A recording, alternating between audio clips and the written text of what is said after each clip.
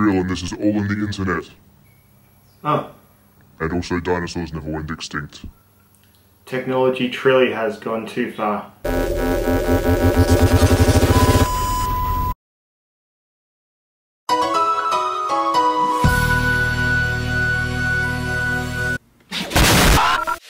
Hey gang, back in the knife lab today. We're looking at two steels that I'd never heard of before I before I uh, got these mules. We've got CTS B70P and CTS B75P. So we're going to do B70P first. This is a powder metal, so um, the other one is not. The other one's a micro melt, and um, which just slightly different ways of, um, well not slightly, but just different ways of making a nice even grain structure. So we're looking at in this one, 1.1% carbon, 1% vanadium, 14% chromium, 2% moly, and then trace amounts of manganese. Bit of niobium in this one, um, only like a quarter of a percent, but it's something I suppose. Niobium's a, uh, a different type of uh, former of uh, carbides as well, so uh, they are um, apparently sort of very hard as well, similar to vanadium, but smaller. Know. Um, you come here for the results, not for the not for the steel talk. I, I hope. Um, so yeah, we've uh, put a 17 degree mirror polished edge on the Spyderco mule that is made on it. Interestingly, the um, mules are largely the same. However, these two are actually a little bit different. The blade on the B70P is a bit longer, and also it's um, a little bit thicker as well. So it's a uh, yeah, just a bit of a bit of a different one. Which one was thicker? Yes. Yeah, this one's thicker, the B70. And one's made in Taiwan and one's made in Golden, so I guess that's the Mule series for you. They're all a bit different. Just slightly in terms of where they're made, what steels they are, but they're all trying to be the same pattern, which is why they're such good uh, comparative pieces. But anyway, that being said, these are just a little tiny bit different to each other. Uh, now, we're going to cut rope, twisted sisal rope, until the knives no longer slice into a held sheet of paper. Alright, yeah, just the rope. They've both been taken to a 17 degree mirror polish finish, which is a very sharp edge, and um, using the KME system to 0.1 microns. So yeah, this should be a interesting test to see how different these two are and what kind of steels they are entirely. Are they like S30V level? Are they 154cm level? Who knows? Uh, let's have a look by doing some rope cutting. Let's go.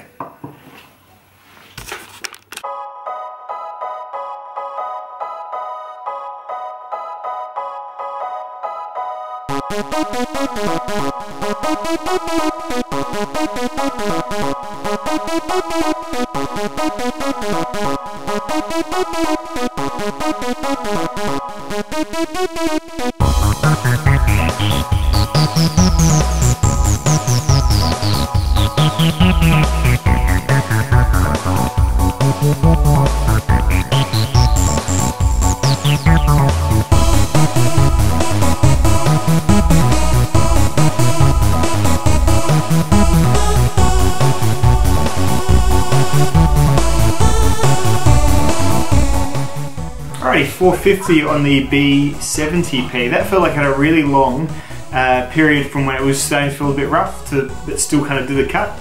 Uh, much longer than usual. Usually it's much kind of quicker instead of just, oh, and it's dull. That one from about 350 felt like it would not have surprised me if it had stopped at any point from there on. So cool, I guess. Like maybe it's a more stable or more, I don't know. That's the number, 450 on the B70P.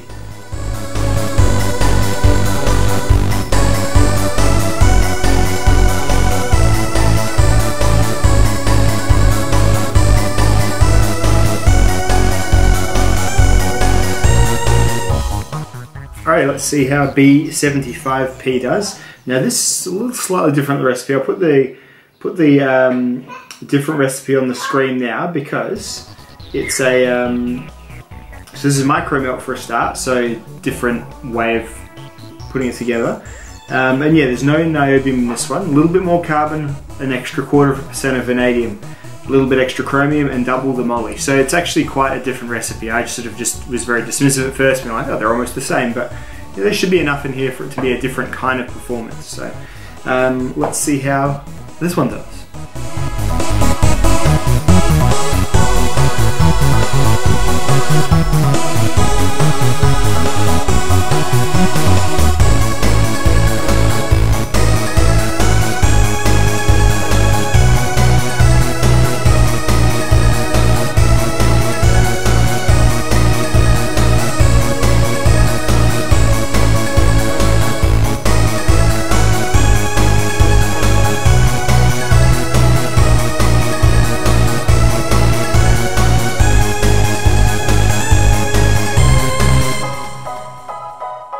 yeah, drastically different to the, um, the well not drastically, is 125 less than the B70P is the B75P, stopping at 325, and that was really, um, that was, I was feeling it from like a definite edge reduction from about the 250 line, so um, you know, of course, these are just two little tests, um, but yeah, it's the same pattern. I'm the same person. I don't care which one of these is better or worse, but um, that's definitely stopped a fair way short from having, as far as I could help, pretty much an identical edge to the other steel. So it's probably for a different application or has a different strength or weaknesses. You know, remember, edge retention against rope is a very specific thing to judge a whole steel on. So, um, but yeah, this is uh, the lowest of the mules so far, I do believe. This, then um, 52-100, which isn't even a powder steel. So this is um, micro melt. The 52-100 is just like old-fashioned ingot steel. And um, then it was a LC200, I think at 350 out of the mules.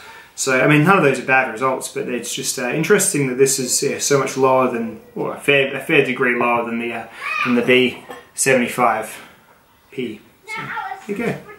Um, so that's these two done. Um, I'm getting these out as quick as I can. Um, I, I alluded before on Instagram, it's the, the trickiest part's making the intros, because I do realise the intros are probably just as much to the enjoyment for some folks. Um, and what else? Yeah, so I'm making these as quick as I can. There's still got a few more mules to get through. Uh, M4, still, still M4 and Maxamet, um, still PSF 27 I believe as well. Maybe I'm missing, forgetting about one or two others as well. So, uh, And then I'll be having a well-needed break. Uh, apart from a couple of little incidental ones that I'm sure I'll do. So uh, that's B70 and B75P from Carpenter Steel. Hope you've enjoyed dudes. See you in the next one. Goodbye.